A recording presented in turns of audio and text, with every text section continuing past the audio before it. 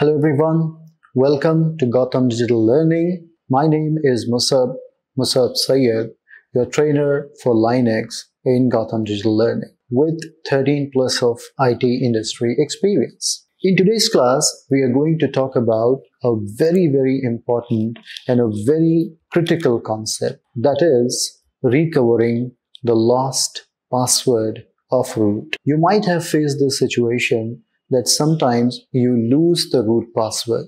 Maybe after changing the password, you don't remember it, or somebody else might have changed the password and now we forgot the password. See, if a normal user password is lost, you can still log in as root and you can change the password for normal user. But if root password is lost, then there are no other option but to log in into emergency mode and recover the password. The steps are very critical, very important for interview purposes and your working environment also. And yet at the same time, it is little complicated. But if you start practicing now and regularly repeat it multiple times, I promise you that it becomes very simple and easy. So let's see that how can I recover the root password. Suppose I'm trying to log in as root user and I try to give some password and you see this is not working. I lost the password, I don't remember it now. So I don't have any other choice but to forcefully restart the machine. Go to VirtualBox console, right click it and reset the computer. Resetting is nothing but restarting the OS. When I click on reset, you see the machine will restart and it will bring you to this place. Now here you can press any key, up arrow, down arrow and pause your booting process. So when the countdown appear, if you press any key, automatically the countdown will stop and here you will have ample time to decide what to do. See here, there are two lines. Line number one is pointing towards our operating system and line number two is pointing towards recovery mode or rescue mode. But the problem is rescue mode is same like safe mode in Windows. It needs root password. The problem here is we have lost the root password. Now I want to forcefully enter into my OS and recover it. It's like the backdoor entry we are doing. So keep the cursor on line number one and press E.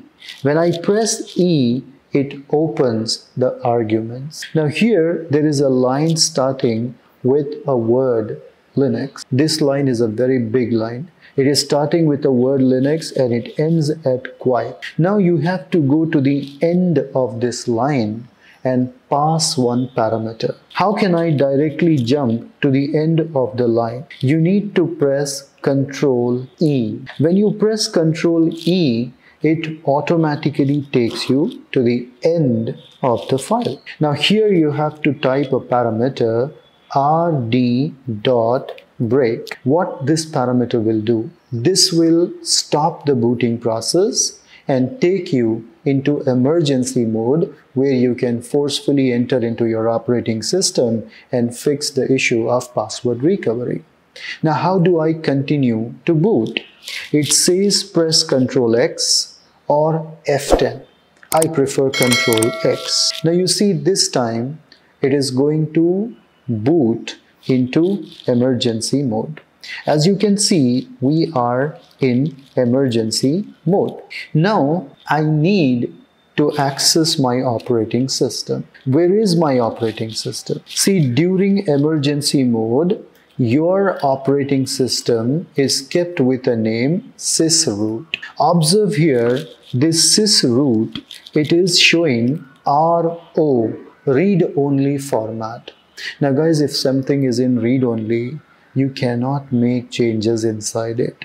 So I need to change that read-only format to read-write. How? By using a command mount hyphen o remount. Which option read-write and which directory it is sysroot. So this is going to force my directory to change from read-only to read-write. Now you can go inside it and recover the password. Now the question is, how can I access my directory? Can I simply say cd, go inside and change the password? No, that is not going to work out. In order to access it as a root user, we need a special command. And the command is chroot sysroot. So I'm telling, take me into sysroot with root power so that I can access it as the root user. Now when I hit enter, it takes me into our directory, our operating system with root access. Now when you are root user, simply you have to run passwd and change your password to whatever you want. Suppose I want to change it back to Red Hat.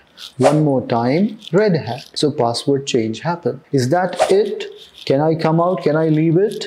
No. There is one more step remaining. Guys, you cannot underestimate SE Linux. See, SE Linux is meant for security.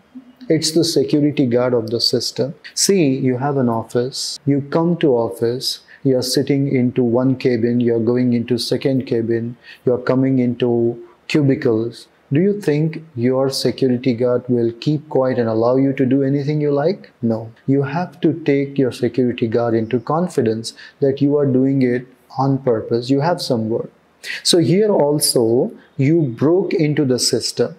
You access the root and you are trying to change the password. And if you don't update SE Linux, it is not going to leave you.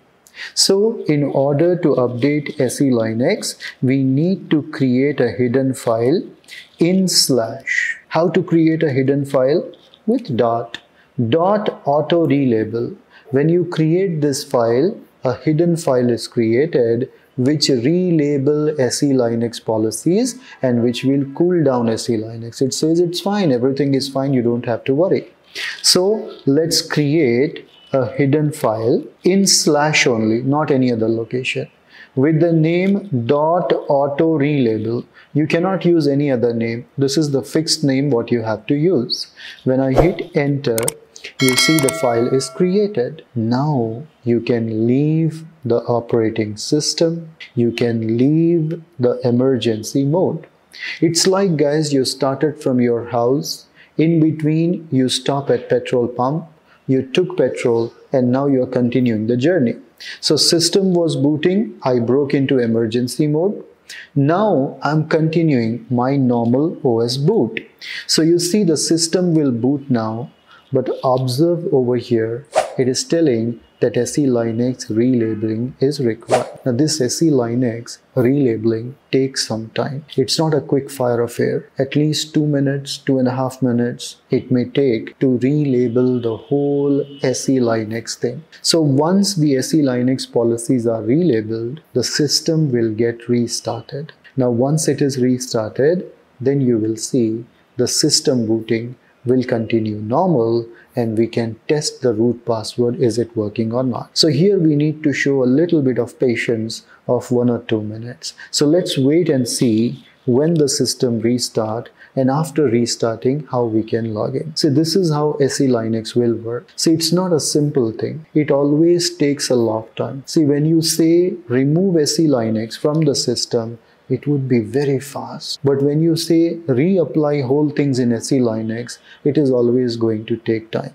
Don't you think that this is law of nature as well? To make a tree, it take years, but to break it, it's just a matter of few minutes and you will break it down. So anyway, we need to give it some time. We need to wait couple of uh, minutes before the system restart. You see the system is now getting restarted. Let's wait till the system boots completely. Now once the system booted, we'll try login with our new password what we have reset that is Red Hat. Let's see will it work or not. Now you can work graphically or maybe you can again co connect with uh, Putty tool. Here you can give root user and your reset password Red Hat. You see I'm able to log in. Even you can try it out with graphics. Go to not listed user, give the username, give the password. That's so this is how you can recover the root password. So this is a very important and critical concept what we have learned today, not only for your interview purposes, but for your real world troubleshooting. That's it in this video. We'll meet back again in the next video with some new topic. Have a nice day and goodbye.